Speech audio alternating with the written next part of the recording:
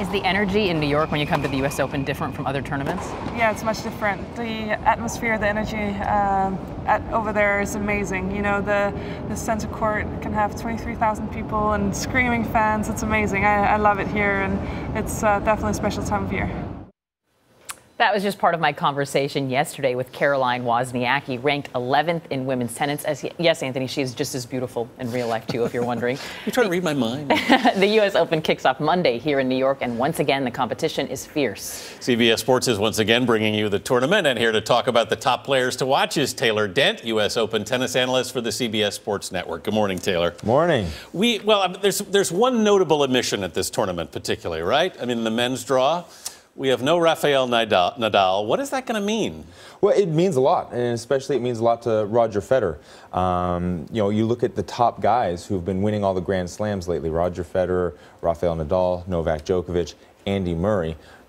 Without Nadal, Federer's coming into this tournament actually looking like the favorite. He's had the best summer. Andy Murray's been a little up and down. Novak Djokovic has not looked impressive. So I mean, it puts Federer in the lead, in my opinion. Which is funny because you didn't think Federer was a factor really anymore. I will. I, I, don't think that I was alone in saying that he wasn't a factor. I think he could always have the potential to get deep in Grand Slams, but I just thought there was too many guys ahead of him that were beating him too often for him to actually secure another Grand Slam title. But now it's not the case. Well, tell us about those other guys. Who are some of the dark horses we could see? Well, you know the guys that have been doing well lately. You know, Milos Raonic has looked really, really good. Uh, Dimitrov has looked better, even though you know Record at uh, you know U.S. Open isn't spectacular.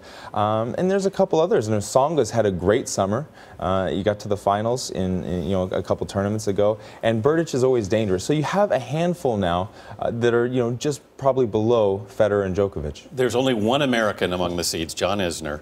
Is there an American resurgence around the corner here among the men?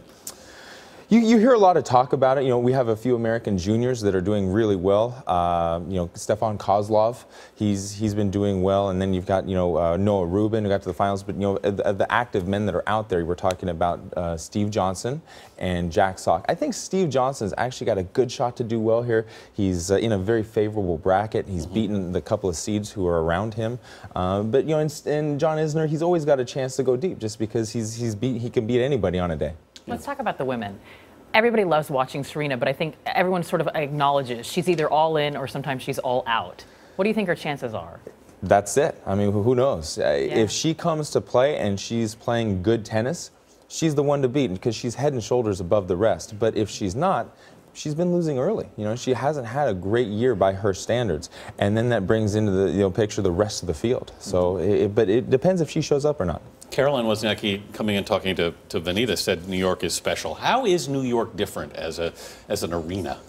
Yeah, I, I, believe that every Grand Slam brings its own energy. Uh, you know, first Slam of the year, Australia, it's almost like a very happy party atmosphere. It has been for years. And then you go to the French Open, and you know the crowd loves to uh, definitely cheer, and, and but they're they're not afraid to heckle. You know, they'll, they'll get on you if they don't agree with what it you're doing. It isn't pretty sometimes on center court. Yeah, yeah, exactly. And then Wimbledon almost has this quiet energetic buzz going on, very respectful, but you can always hear the hum of the crowd. And then as soon as a good point's played, it just erupts, and it, it's exciting.